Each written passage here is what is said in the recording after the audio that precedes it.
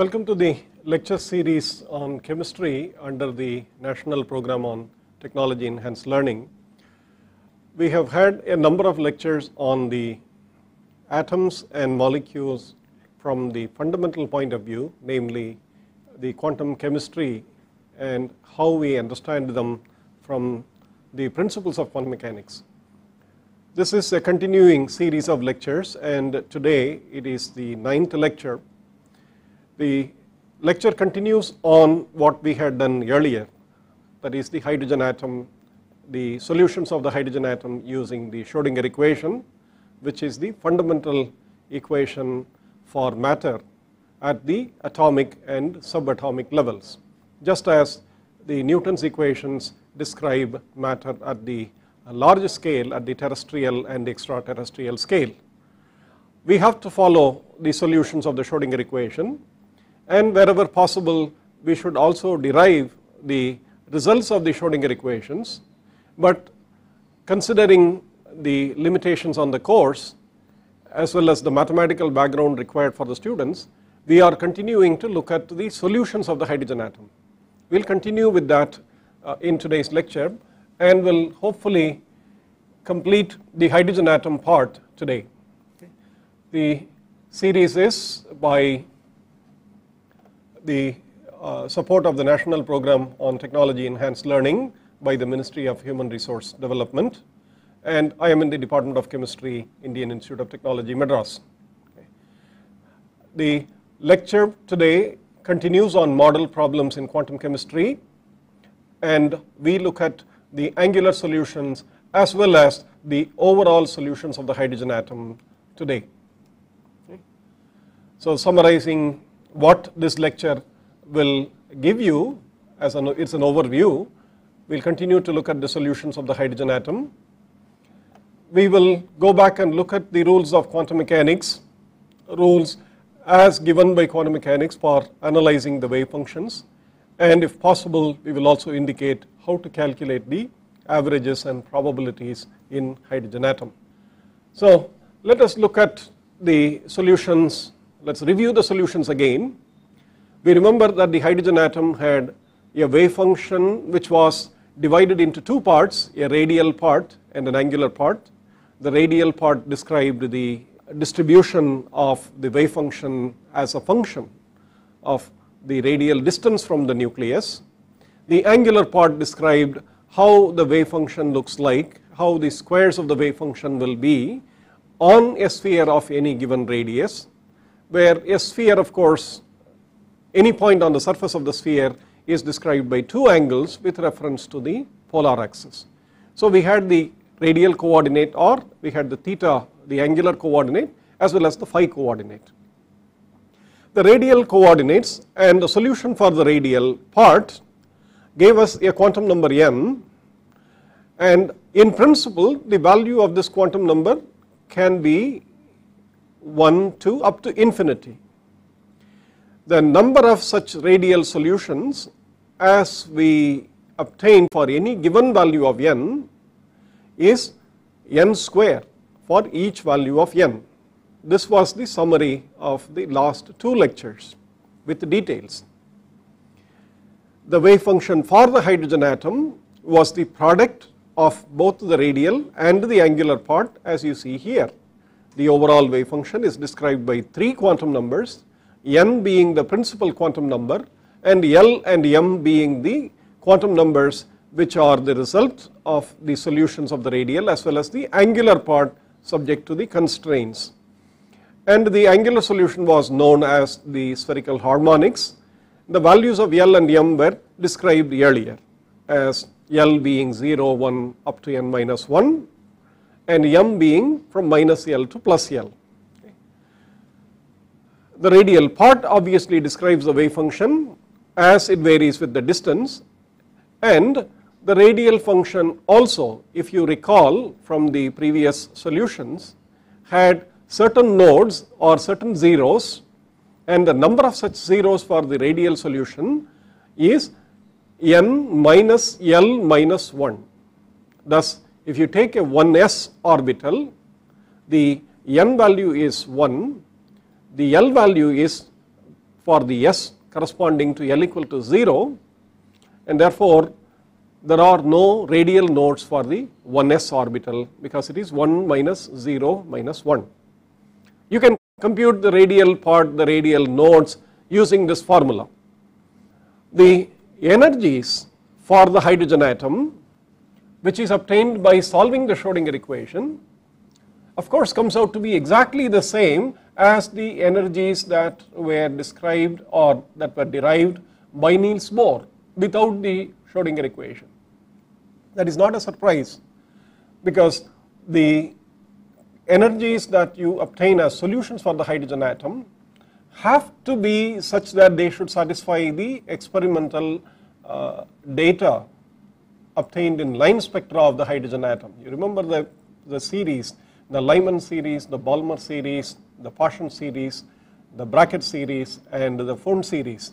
These series were there as experimental data much before the uh, quantum mechanics uh, described the solution, the, the results. Therefore, it is imperative that any new mechanics, either that of Niels Bohr or that of Schrodinger or Heisenberg or any other mechanics, accurately accounts for this experimental fact and it is no surprise that the solutions of the hydrogen atom given by Schrodinger turned out to be exactly the same as far as the energies are concerned as calculated by the Niels Bohr formula, but with one difference. Niels Bohr had to introduce this as an arbitrary ad hoc facts, I mean he called them as facts as required, I mean these are assumptions which were required, the assumptions is that the energies of the electron uh, do not vary so long as the electrons are in certain uh, orbit. And only when the electron jumps from one or the other that it either emits or it absorbs radiation. Now, this was a constraint proposed by Niels Bohr to describe the overall solution. In the case of Schrodinger equation, there is no such artificial constraint. You have to believe that the Schrodinger equation works and if it works and if the wave functions have to satisfy the boundary conditions as is required for differential equations, then the solutions come out naturally and the quantum numbers of this wave equation therefore arise naturally as a result of the boundary conditions. So what is this? Uh, in effect it is a new hypothesis instead of the Niels Bohr's condition now we have the Schrodinger hypothesis the Schrodinger equation itself but with one major very very major difference namely that the Schrodinger equation works for all the other atoms. Niels Bohr's formula worked only for hydrogen atom. The hypothesis is it is still a hypothesis but it is definitely more useful in the sense that it is useful for studying a much larger set of phenomena and in fact all of chemistry ever since 1927 uh, seem to have centered around the solution of the Schrodinger equation as far as obtaining the properties of the atoms from uh, ab initio that is from the beginning without doing any experiments if you want to calculate them the Schrodinger equation seems to be the equation. The electron in the hydrogen atom is obviously described by 3 quantum numbers and 3 only. And please note that here spin is not a part of the hydrogen atom model that Schrodinger gave. The spin came later. Sorry the spin was there earlier but it was an ad hoc proposition by Pauli. And spin quantum number is a fourth quantum number that was introduced by Pauli and with that the hydrogen atom picture the electron wave function picture is complete but spin is not part of the Schrodinger equation that was originally used to solve the hydrogen atom problem. The accounting of the spin into the Schrodinger equation came later by Paul Adrian Maurice Dirac, an English physicist, mathematician, and he is often considered the father of quantum mechanics. He introduced very clear and concise mathematical picture for quantum mechanics and it is his work which includes spin which derives spin as the natural fourth quantum number and therefore with the relativistic mechanics that uh, Dirac introduced in the solution of the hydrogen atom equation, this process was complete. It is important to point out here that the book published by Dirac in 1930 and revised a little later, I think around 1959 or so, is still one of the most important works ever to have written, to have been written in quantum mechanics or about quantum mechanics and the title is Principles of Quantum Mechanics. It's extremely important that you have a look at this book sometime or the other. Now, let us examine the wave functions a little more closely together. We were looking at the radial part before, we were looking at the angular part before, but each one of them separately. Now we are going to look at both of them together. So let me rewrite the formula as you have here. The overall wave function as you recall is psi n l m or theta phi is the radial part r n l of r y l m of theta phi which is the formula that you see here. Okay. Now the radial part contains an exponential e to the minus r times the charge of the nucleus z by n a naught where n is the principal quantum number and a naught is a constant known as the Bohr radius its approximate value is 0.53 angstrom its approximate value is 0.53 angstrom the it contains a quantum number n. That is the principal quantum number. The radial part does not become 0 at or equal to 0 then it is an S function. That is something which you have to remember. That is L equal to 0 for the S function. The radial part if it has the formula r raised to some power L where L is the orbital angular momentum quantum number r raised to L and multiplied by a polynomial which is n minus L minus 1 of order then it is a radial function of any specific value n and L. L equal to 1 means P which means it is R and n minus 2 the power. When L is 1 this is n minus 2 is the order of the polynomial multiplied by R. That is a p orbital and then L equal to 2 means a d orbital and so on. So the functional form of the radial part the functional form of the radial part can be uh, an indication of the quantum numbers and the type of the orbital that one is interested in. Let us look at the radial functions one after the other and then we will look at the radial function squared. First let us plot the radial functions for the several values of n equal to 1, 2, 3 etc with the appropriate values of L.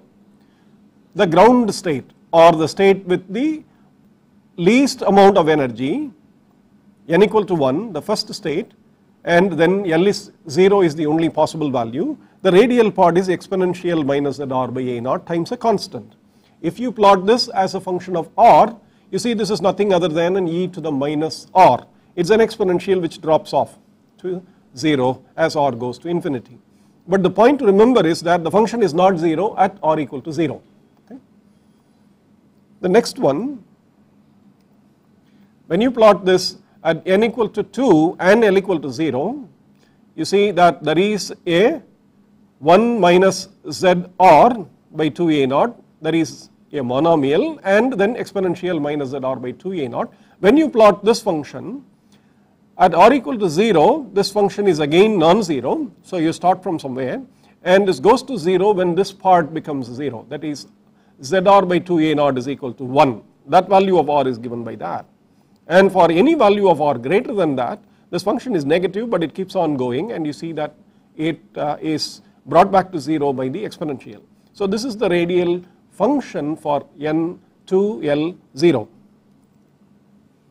Likewise for n equal to 2 and L equal to 1 you have r raised to L which is L equal to 1 here. So it is r to the power 1 and the polynomial goes to 0 because n is 2, L is 1, n minus L minus 1 it is 0 therefore there is no there is no polynomial here only r and an exponential minus z r by 2 a naught and you see that this has a simple function that r increases exponential decreases so there is a competition and after a maximum the exponential brings everything back to 0. This is the radial function for n equal to 2 l equal to 1 2p type of orbitals. When n is equal to 3 l equal to 0 it is 3s orbital and you see that r raised to l, l is 0 so there is a a quadratic function here, a function a constant times r and an r square and an exponential. This quadratic has two zeros, two roots where this function goes to 0. Those two roots are these two points when you plot them. When you put r equal to 0, this is non-zero. So you start again from a non-zero value for the radial function and an exponential these two roots and then the function goes to 0 because of the exponential. So you see that there is an alternating sign for this wave function. We will do just two more of them n equal to 3 and l equal to 1 corresponding to 3p r raised to l which is r raised to 1 n minus l minus 1 which is obviously a polynomial of degree 1 exponential minus z r exponential minus z r by 3 a naught and you see that this goes to 0 only once and this never goes to 0 except at infinity. So you have one node and the radial node is one node for n equal to 3 l equal to 1 and the function goes like this. The last n equal to 3 and l equal to 2 r square e to the minus z r by 3 a naught it never goes to 0 it starts with a 0 and you see that this is uh, a straightforward plot of the r square e to the minus z r by 3 a naught. So if you put all these plots together for a given value of n you see that there is a radial function which is this is a 2s and this is a 2p. The curve with the two radial nodes is a 3s, the curve with one radial node is a 3p and the curve with no radial node is a 3d. You have to remember that the radial nodes decrease as you go from S to P to D etc because it is n minus L minus 1. So as L increases the number n minus L minus 1 keeps on decreasing until it becomes 0. Okay. So the, the picture also tells you where the radial nodes are for a given value of n relative to each other. Now all of this is for the radial function but then we also know that the wave function itself does not have an interpretation. There is no physical interpretation for the wave function. It has to be because otherwise we have a problem. You have a wave function which starts off with a non-zero value at or equal to 0. What does that mean? That means that the electron has a finite, uh, I mean some function at the nucleus. It does not make sense. The wave function is not to be interpreted but it is the absolute square of the wave function which is to be interpreted as a probability density. So what exactly is the formula? For this wave function what is the probability interpretation?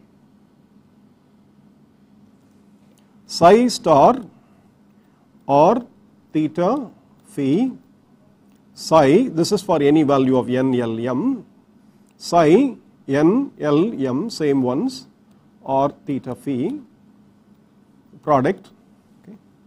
that is the function and its complex conjugate multiplied or the absolute square of the wave function over a small interval of space let me call them d tau here gives you the probability of finding the electron in that space d tau where this d tau is centered at some value of r theta and phi. It is r plus dr theta plus d theta phi plus d phi in that small region what is the probability of finding the electron? That is the only interpretation that can be given by the presence of this wave function by the solution of the Schrodinger equation. And the star is extremely important here because you remember that the spherical harmonics which is part of the hydrogen atom solution has complex quantities in them. Therefore if you forget the star you are going to make uh, mistakes any real number can be obtained from a complex number by taking the absolute square of the complex number and here probabilities are real can be measured therefore they have to be interpreted and this interpretation was due to Max Born I told you earlier And in fact, Schrodinger himself did not make such an interpretation for the wave function, but it was Max Born who did that uh, several years later. Now, with that sort of an interpretation, what is the d tau? Supposing we were to write the wave function as psi x y z psi star x y z, then it is very clear to us what is a d tau. You recall the particle in a 1D and a 2D box. The d tau was something like a dx, let me write d tau here and d tau is like a dx, dy, dz, a volume element. What exactly does this mean? This means the probability of finding the particle, finding the particle in the region enclosed between x y, z and x plus dx, y plus dy, z plus dz. That is if you draw a small rectangular volume element from x to x plus dx, y to y plus dy, z to z plus dz as the appropriate sides, the probability of finding the particle in that volume element is given by psi star psi. That is the only interpretation given. Now in Cartesian coordinates the volume elements are easy to write. d tau is as I wrote dx dy dz. But in the case of spherical coordinates the d tau is not the dx dy dz but elementary mathematics tells us that it is r square dr sine theta d theta d phi.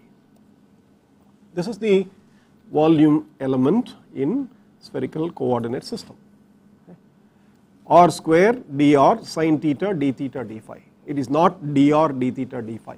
Please remember this. Now, this r square will play a critical role in our interpretation of the radial function in terms of a probability density. How? Let us see that. So, let us look at the the slide, I have said that the uh, star denotes the complex conjugate psi star psi is the probability of finding the electron in the region d tau. And in 3 dimensional space I also said that dx dy dz is the volume element. What is the space for the electron? It is all the way from minus infinity to plus infinity for the x, y and z that is the entire universe. But however, it, the entire universe does not really make sense for us because you remember that there is a fundamental unit which governs the, the exponentials. The exponentials are exponential minus r by a naught where a naught is the Bohr radius 0.53 angstroms. Therefore, if r is about 5 a naughts 5 times the Bohr radius the factor is an exponential to the minus 5 exponential to the minus 5 decreases it is pretty close to 0 and exponential to the minus 10 is even closer to 0. Therefore, even though this mathematical limit is required for us to do the interpretation of the electron probabilities inconsistent to the mathematical description, we do not really need large values of x, y, z because of the fact that the exponential is tapered off by the values of a naught by the Bohr radius. Therefore, the universe, the electron can be anywhere in the universe, but its likelihood of being far away from the hydrogen atom, if that electron were to be near the hydrogen atom and if it is to be far away from the hydrogen atom, the probabilities in these two cases will be quite drastically different. Anything more than 10 atomic radii, we do not have to worry about the electron as the electron belonging to that atom or to that uh, nucleus but this mathematical limit is something that you have to keep in mind. It is an it's an sort of an arbitrary it's not an arbitrary limit. It is required to do the algebra but it's not very meaningful in practical interpretations. What is the probability of finding the electron anywhere in the universe? Obviously you know if the electron was there with the hydrogen atom to begin with it's going to be in the universe all the time somewhere. Therefore, the overall probability is when you say the integral z integral y integral with respect to x all this means is that you are adding these probabilities for every possible values of x, y and z. Integration means addition for continuous variables x, y and z. Therefore, when you add all these probabilities it has to be 1. So, this is the conservation of the total number of electrons with the hydrogen atom. If the electron and the atom the nucleus were to be studied in the beginning the electron remains throughout. The total probability of finding the electron anywhere in the universe is a certainty or is 1 in spherical polar coordinates as I told you that integration now takes a different form. The dx dy dz is now replaced by r square sin theta dr d theta d phi. And the limits of integration are now for the radial coordinate it is between 0 and infinity. It refers to the sphere and the theta coordinate is between 0 and pi and the phi coordinate is between 0 and 2 pi. Therefore, we can easily rewrite this mathematical statement namely the integral dz, the integral dy, the integral dx between the limits minus infinity to plus infinity in all these three cases psi star psi is equal to 1 using spherical polar coordinates namely we will write it in this form let us write this slowly. Using this formula for d tau we can write the integral psi star psi d tau as okay, its triple integral as r square dr where r goes from 0 to infinity sine theta d theta where theta goes from 0 to pi and d phi where phi goes from 0 to 2 pi this is the integral limits then psi star n l m or theta phi psi n l m or theta phi. This is the probability interpretation in spherical coordinates.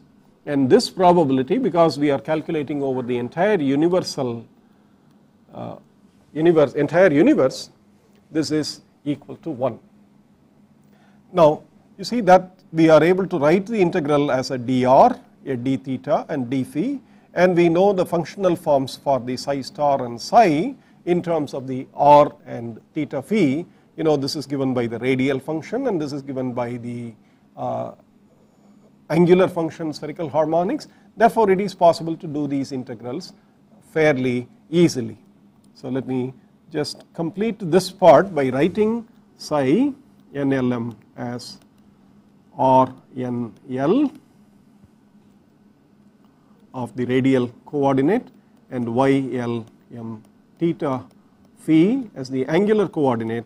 Therefore, the overall triple integral that you have had is written as an integral involving a radial part and an integral involving the angular part which you can write as r goes from 0 to infinity r square.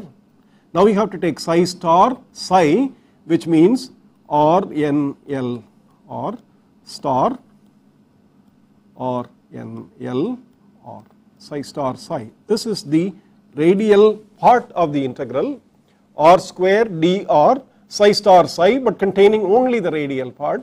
This is everything that depends on the radial coordinate Therefore, this is the integral that we need to evaluate as far as the radius coordinate r is concerned. What are the theta phi parts? Multiplied by the integral theta is equal to 0 to pi sine theta d theta. Let us also do this phi equal to 0 to 2 pi d phi. Okay. Now we have got the theta phi dependent angular function which is y l m theta phi star multiplied by y l m theta phi itself. So, this is the angular part. So, you see the angular part integration as that containing the theta phi integration and then the radial part integration containing the R integration. Now, the interpretation for the probability is now meaningful when you include this R square as part of the radial probability distribution. Now, let us go back to the slide. So, what I have done is to write this radial part r square dr or nl or star the radial integral and then there is the angular integral and if it is taken over all the limits for all the three variables then this is equal to 1. Okay. Therefore, you see the probability density when we talk about the radial distribution is no longer simply the capital R squared, but it is also the product of the little r squared and the radial function squared. That is, it is this part r square capital R and a capital R. Together it is called the radial probability distribution function and this has definitely a meaningful interpretation as far as the likelihood of finding the electron uh, away from the nucleus is concerned. Okay. Now the regions in which the probability is near 0 are called the nodal regions and the point at which the probability is 0 okay. there is nothing called the probability of finding the electron at this point is 0 or at that point is 0 no. There is no such interpretation like finding the probability at a particular point. These are all continuous variables. Therefore we can only talk about a probability density and the probability density can be 0 but the probability itself is meaningful only when you talk about a small region of space and therefore whenever you have a small region of space the probability is never 0. It may be extremely small but it is never never ever 0 okay. Please keep that in mind in the regions in which the probability is near 0 these are called nodal regions. The probability of finding the electron is very small or negligible but never 0 because we do not talk about the probability densities but we do talk about the probabilities as themselves. Okay.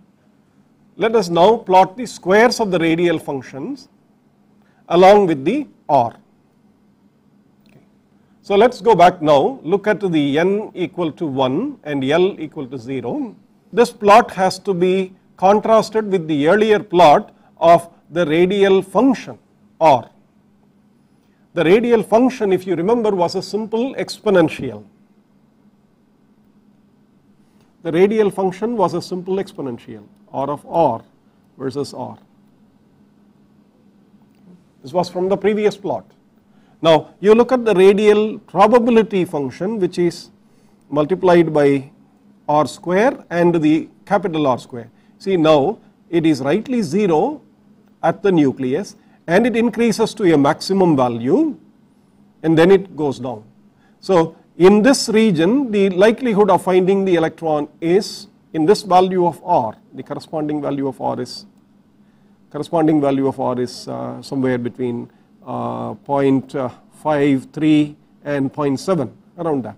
Finding the electron in this region the probability is the maximum and then the as you go farther away the likelihood of finding the electron also becomes very small. This is for the n equal to 1, L equal to 0 case. So this is the 1s orbital. Therefore, for 1s orbital the electron probability is very near the nucleus maximum. Let us go to 2s, n equal to 2, L equal to 0. For 2s you see the probability of finding the electron is maximum slightly farther away from the nucleus but there is a small region where the probability is also a local maximum and then it increases to a much larger value slightly far away. That means the 2s orbital is extended in space with a likelihood of finding the electron near the nucleus some value but uh, most of its probability is farther away from the nucleus farther away from the 1s region that is the 2s orbital is the outer orbital if you compare the language of the Niels Bohr the n equal to 1 is the first shell the n equal to 2 is the second shell. The 2s is now you no longer talk about a shell or an orbital but you talk about a region of space where the probability of finding the electron is high. And the 2s orbital gives you that concept. And this value is roughly close to the value of the, uh, the radius that Niels Bohr derived. Therefore, there is a one to one correspondence between the particulate model that Niels Bohr had and the wave function model that uh, Schrodinger's uh, equation proposes that you replace the electron dot by an electron cloud such that the density of finding the cloud in that region is the maximum. This is for 2p n equal to 2 l equal to 1 the radial probability density is now you see there is a maximum. This maximum also is very near the maximum of 2s you look at these values here. See this is z by a naught. There is a, an r value. This is uh, scaled to this Bohr radius a naught. So what you have here is approximately around 5 and for 2p is also approximately around that region. So you see that 2s and 2p nearly occupy the same region but slightly different of course. Go to the n equal to 3 l equal to 0 which is a 3s orbital. And now the density of finding the, the probability density or the likelihood of finding the electron is uh, farther away from the nucleus is more but you see 1 2 there are two nodal regions corresponding to this value 0 0 here. The probability is 0 of course at the nucleus or probability density is 0 at the nucleus and then you have these two nodes and then there is a likelihood of finding the electron. The 3s orbital is extended in space farther from the 2s orbital. This is the 3p orbital which has one node and the region of space where the bulk of the likelihood of finding the electron is in quite far away from the nucleus compared to the 2s. This is the 3d corresponding to n equal to 3 and l equal to 2 and again there is no node the region is reasonably flat and the likelihood is again farther away from the nucleus. Therefore, the radial functions if they are plotted they only tell you approximately the values for which the radial probability density is 0 or high but you have to remember that the radial probability distribution has an additional factor of the little r squared. That little r squared comes from the volume element in spherical uh, polar coordinates and that volume element ensures that there is a reasonably correct interpretation for the uh, distribution of the electron probability as one moves away from the uh, nucleus. If you put the probabilities together for the n equal to 2 case you see this is the one with the node is 2s and the one without the node the red line the line that you see here without the node is 2p radial probabilities. And if you put all the three uh, the three orbitals the n equal to 3 orbitals the one with the two nodes the blue curve has the two nodes these two with the two max 3 maxima that is a 3s the red curve which has one node is a 3p and the green curve which has no nodes is the 3D and you see the maxima are roughly close to each other. They are not very far away but they are considerably far away from that of the n equal to 2 case as you see here. The n equal to 2 case as you see they are quite far away the n equal to 3 case is somewhere in this region. Okay. So the concept of the Bohr radius and the Bohr shell n equal to 1, n equal to 2, n equal to 3 is now reinterpreted in terms of the probability densities as uh, the regions where the likelihood of finding the electrons is maximum. Let us see how many such orbitals are there for any given value of n. I told you that it is n square. We will now substitute the numbers and see that that is what we get. For n equal to 1, L is equal to 0 is the only possible value. There is no m, m equal to 0 Therefore, there is only one such solution, one s. The, let me write these solutions in the indexed form. n equal to 1, L equal to 0, therefore m is 0. The wave function psi is 1, 0, 0. This is n, L, m. The wave function is r theta, let me get rid of the r or theta phi is obviously radial n is 1, L is 0, 1 0 of r, y, L is 0, m is 0, y 0 0 theta phi. Okay. This is one s orbital. It is not just the angular part, it is a radial and the angular part put together.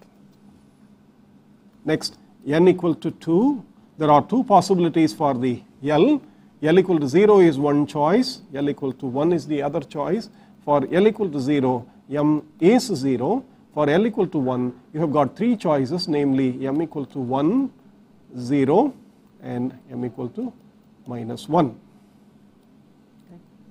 m equal to 0 and minus 1. So, what are the three, the four wave functions that you have is, this is also n equal to 2 here.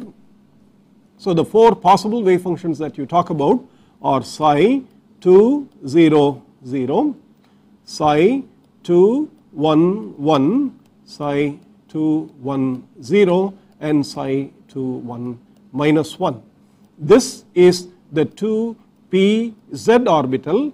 This the real part, the real part or the imaginary part of these give you the 2 px and the 2 py orbital.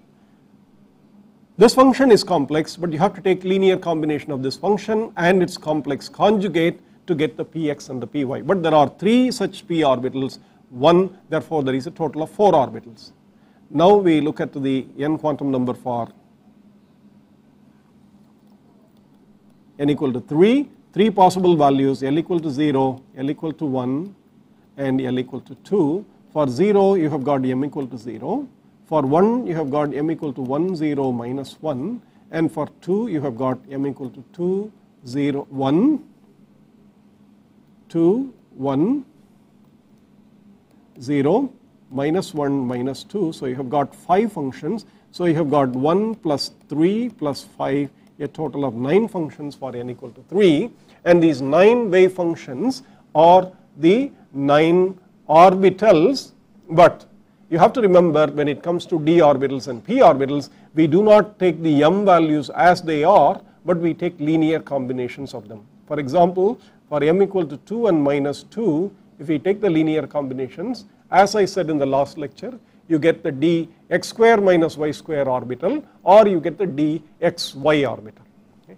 But the point is there are 5 d orbitals, there are 3 p orbitals and there is 1 s orbital for the n equal to 3 case. So, there is a total of 9. So, this is the table which gives you that number. So, n equal to 2, l equal to 0, 2 s 1 orbital, 2 p 3 orbital, n is 3, l is 0, 3 s 1 orbital, n is 3, L equal to 1 3p 3 orbitals, n equal to 3, L equal to 2, 3d 5 orbitals. So, that is a total is 1 plus 3 plus 5 is for the n equal to 3 case 9 of them. And for n equal to 4 you can likewise show an s orbital, 3p orbitals, 5d orbitals and 7f orbitals leading to a total of 16 and therefore for any given value of n there are n square orbital as you have studied them in the earlier chemistry courses except that now you know what those wave functions are and what the products of the angular and radial parts of them uh, turn out to be. So, the solution for the hydrogen atom what we have done so far in this lecture is to uh, look at the solutions from the radial part and the angular part and then bring them together and determine what are called the radial probabilities, the radial wave functions as they are and then the square of the radial function multiplied by the r square to give you what is called the radial probability distribution and then look at the basic rules. The averages and probabilities of hydrogen atom let me indicate to you the calculations are somewhat tedious but you must know how to do the calculations. So, let me do that process here in the next 10 minutes. We will go through formal algebra here. Please recall that the expectation value of any observable in quantum mechanics from the previous lectures I have given as the integral with the operator corresponding to the expectation the value the observable operator between the two wave functions psi star a psi d tau divided by psi star psi d tau. This is a postulate this is a postulate in quantum mechanics. We will have to take this as given and we have to work with it and feel comfortable about how to manipulate this for various cases. We have already done this for a particle in a one dimensional box. If you remember the average value for the position for a particle in a one dimensional box was calculated as 2 by L, this is a few lectures ago now, 2 by L sine square n pi x by L x dx between 0 and L. And this came out because you have this wave function is psi n of x is root 2 by L sine n pi x by L. This was the wave function. So if you put this in here, put the x in here and put the wave function again, you will get this result. And you calculated this to be L by 2, the average value of. So this was already done. Now except that in the case of hydrogen atom, we have got three variables to take care of and therefore we have got these three functions to worry about okay, in taking the average values. So even in the simplest case of calculating what is the average radius for the electron in the ground state that is in the lowest energy state in the lowest energy state corresponding to psi 1s or psi 100 the principal quantum number is 1, the L values is 0 and the M values is 0. What is the average value for this radius? Even this will be somewhat long expression but it is doable because it involves simply exponentials.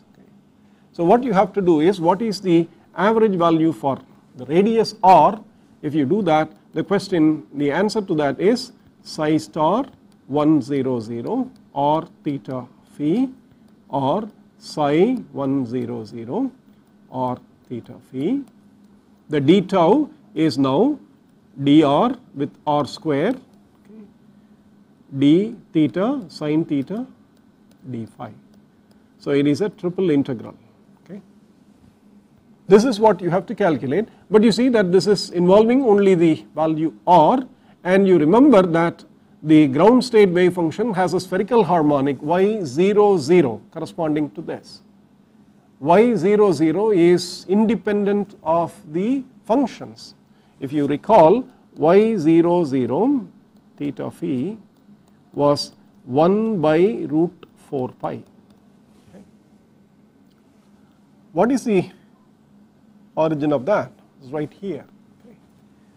It is a normalization constant for the function y00. 0. If it is independent of theta and phi, the angular part is d theta sin theta d phi between the integrals. So let me do this calculation now. You have the radial function 1 0 of r integral r and again the radial function 1 0 of r. It is a real function so star is not needed then there is r square dr multiplied by the integrals y00 0 theta phi square sine theta d theta d phi. This is how you calculate the expectation values of quantities for the hydrogen atom and here the expectation value that we calculate is the average value for the radius of the electron. I mean how far away it is from the nucleus. The average value you can't locate the electron into a particular point because quantum mechanics the wave function model precludes such a description. But on the average where are we likely to find the electron? The value is given by this expression and you have r10 of r times the r and this integral the calculation times this integral. The calculation of this is very straightforward. This is straight away one can do this. You remember that y00 is 1 by root 4 pi therefore the square of this is 1 by 4 pi and it is independent of theta and phi and r. Therefore the integral for theta and phi can be done as sine theta d theta d phi. This integral between 0 to pi for d theta and 0 to 2 pi for d phi. You can show that this whole thing is 1.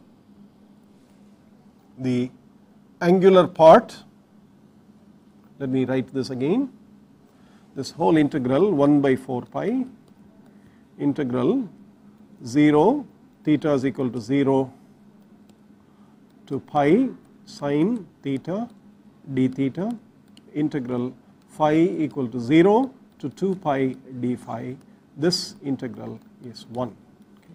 Therefore, the radial part the average value r is essentially integral r goes from 0 to infinity r square dr and then you have got the radial function r 1 0 of r the operator corresponding to the radial the radius and r 1 0 of r. This is the only integral that you need to calculate. Now you see that the separation of the variables in terms of spherical polar coordinates has its advantages when you calculate the properties uh, of the electron where is the uh, what is the average value of the radius of the electron, what is the average value for the, uh, the momentum of the electron.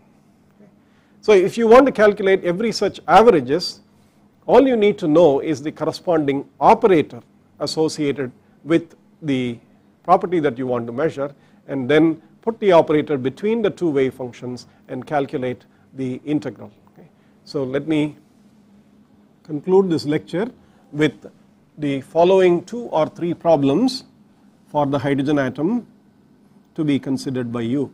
This covers the last three or four lectures. So let me write the first problem as one from the tables of functions given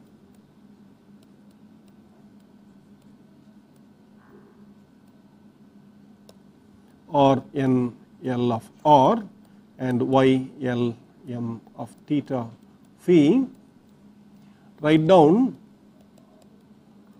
the wave function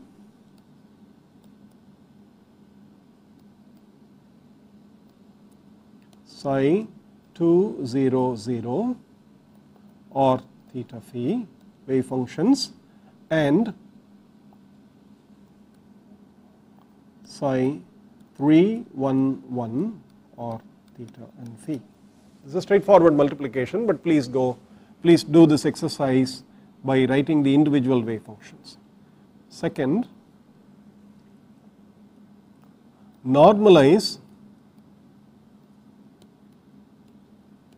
the function psi of r given by a constant times an exponential minus z r by a naught. If I do not give you this constant, how would you get the normalization constant of this wave function? Remember the normalization constant is obtained by the following method. If the wave function is given as psi the normalization means that the integral psi star psi d tau if it gives you a value of n the normalized wave function psi is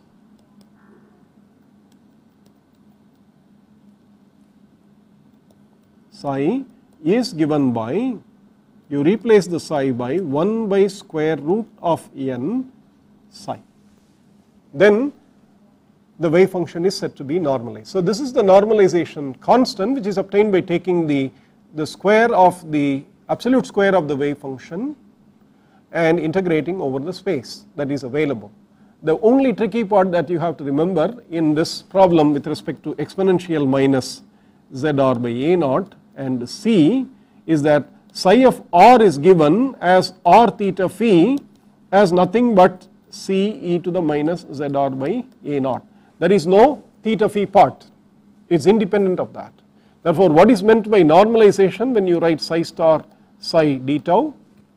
The normalization means that you calculate c square okay, e to the minus ZR by A naught square R square dr. You remember that this is the radial part that you have to consider with respect to the wave function. It is not enough. Also this is multiplied by the corresponding angular part. The angular part is simply that is d theta sine theta d phi. So all that we have done is the integral d tau in this case is a triple integral corresponding to the fact that it is r square dr d theta sine theta. The function that you are asked to normalize does not depend on theta and phi therefore this is taken out and this you know uh, the, the value of this if you calculate using simple integral it is 4 pi and all you need to do is to calculate the integral this c square times and you should set this equal to 1 to calculate the value of C. Okay. So this is somewhat difficult but it gives you a, a little bit of the mathematics involved in handling the wave functions. So let me summarize the purpose of uh, going through the hydrogen atom in all these details. We have not solved the Schrodinger equation for the hydrogen atom but we have looked at the solutions of the hydrogen atom and tried to analyze them.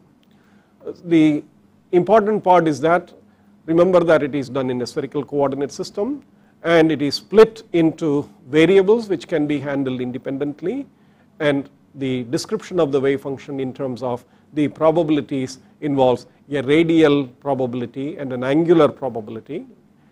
The visualization of these functions, the angular part of this gives you a mental picture about the likelihood of the distribution of these wave functions and so on. Hydrogen atom wave functions are fundamentally important in the study of the uh, uh, chemistry of the atoms and molecules. In fact, all the energy levels of the atoms are based on the classification of the energy levels of the hydrogen atom. So we'll continue this in the next lecture. Thank you.